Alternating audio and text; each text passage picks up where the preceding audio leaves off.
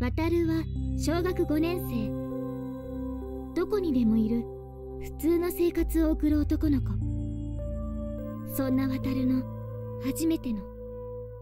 そして決して普通ではない旅は思いがけないところから幕を開ける。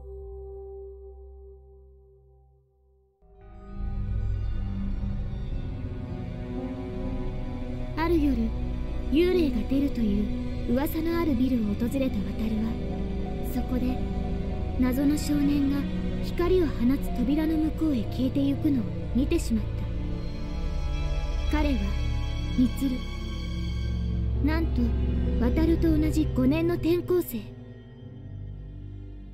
でもミツルは渡るたちと違ってとても悲しい過去を背負っていた。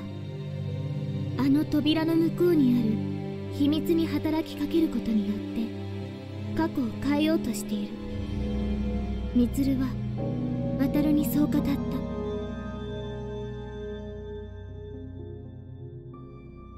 そのことはすぐに渡るにとっても他人事ではなくなった。家に帰った渡るを思いもよらない事件が待ち構えていたから。両親の離婚。そして渡るは走った。充が運命を変えるために旅立つと言った。あの光を放つ扉へと。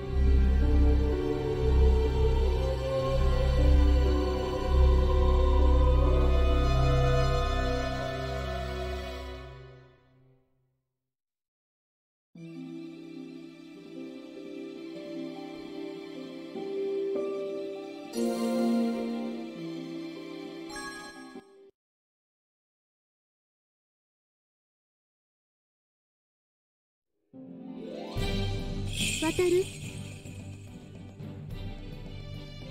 目を開けて渡る？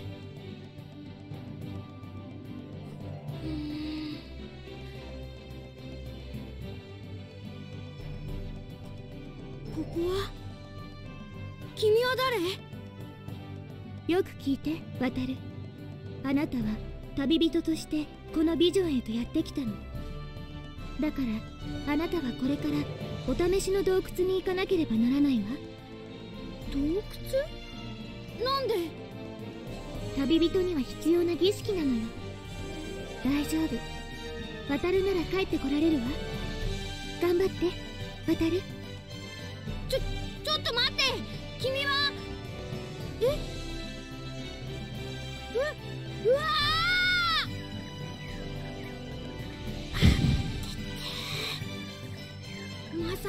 扉の外があんな高いとこだったなんて。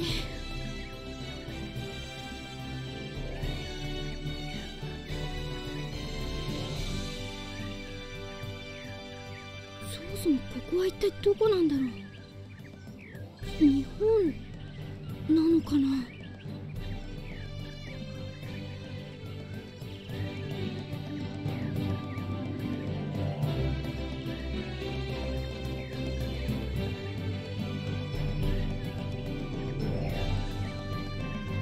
チェックして。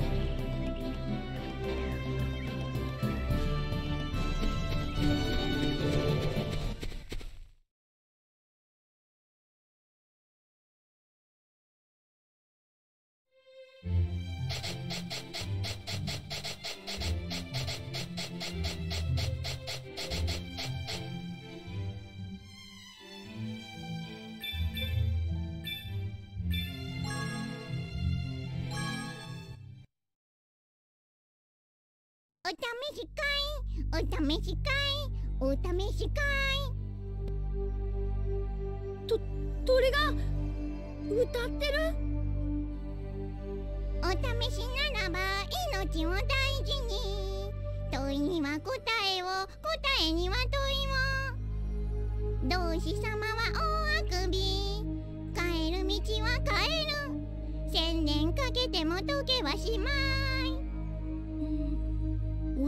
し？これがお試しの洞窟？なのかな？他にそんな感じのところないもんね。はい。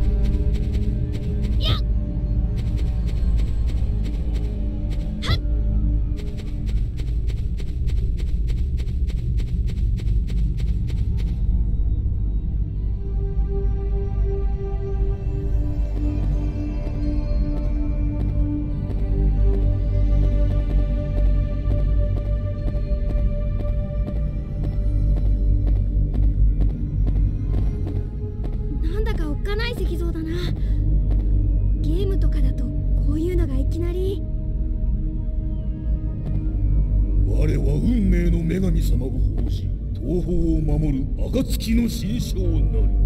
わあほ本当にししゃべった。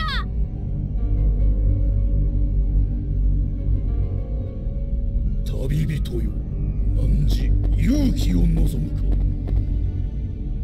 え勇気を？あはい望みます。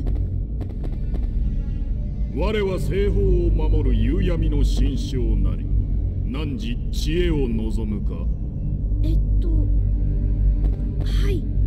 我は北方を守る風雪の神将なり汝元気を望むか？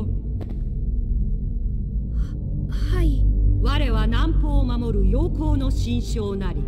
汝喜びを望むか？はい。よろしい。では我らより逃げ切って森へと帰ってみせよ。嘘！嘘！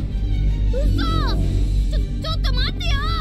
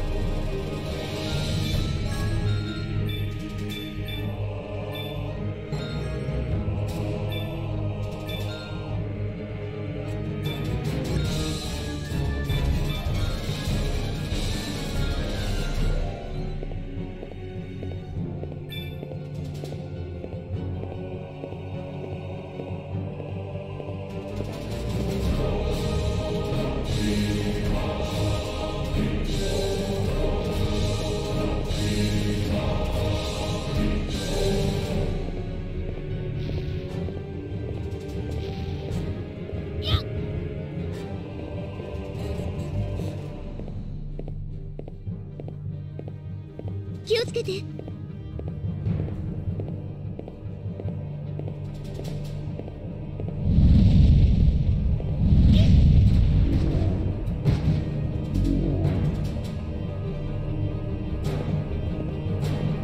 危ない。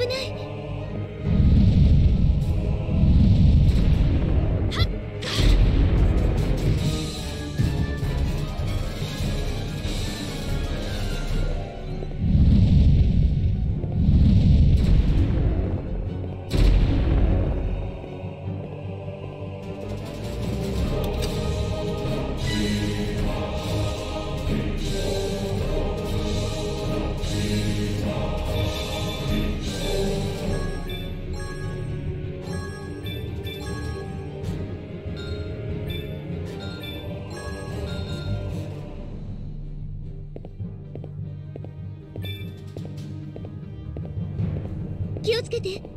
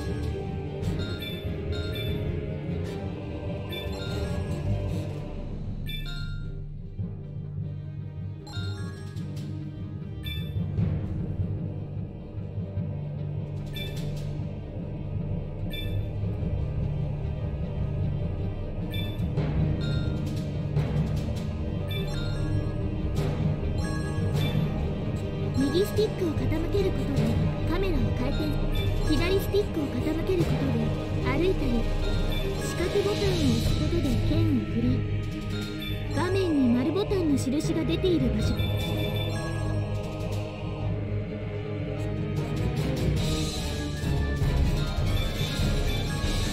りの状態や砲力の数パートナーアクセサリー敵を常に注目して見ることができるのでまた回避とロックオン攻撃ができる。